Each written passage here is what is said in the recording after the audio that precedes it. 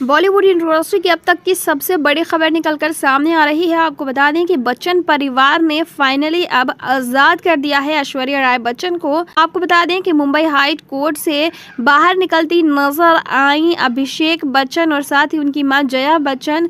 आपको बता दें कि जब मीडिया रिपोर्टर्स ने सवाल जवाब किए उस दौरान अभिषेक बच्चन ने ये क्लियर कर दिया है कि उन्होंने अब ऐश्वर्या राय बच्चन को अपने रिश्ते से आज़ाद कर दिया है। दोस्तों, बहुत ही बड़ी खबर निकल सामने आ रही है। दोनों की लड़ाई को लेकर काफ़ी समय से खबरें वायरल हो रही थी।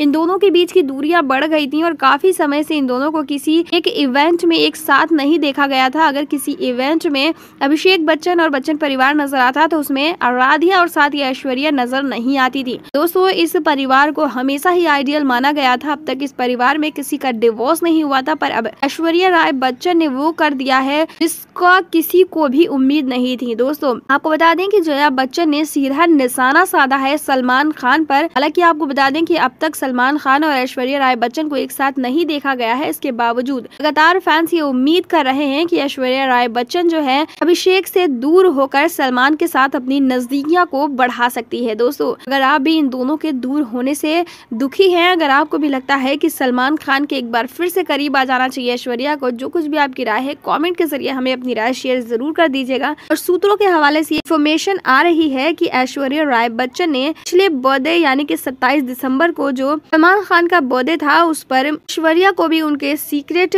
पार्टी हॉल में देखा गया था। दोस्तों, अब बात चाहे जो भी हो, पर ऐश्वर्या ने अभिषेक को डिवोर्स देकर कहीं ना कहीं अपना रास्ता क्लियर कर लिया है। अब आने वाले टाइम पे क्या कुछ होता है, ये देखना काफ़ी दिलचस्प होगा। दोस्तों, जो कुछ भी आपकी राय है कॉमेंट के ज़रिए हमें अपनी राय शेयर ज़रूर कर दीजिएगा।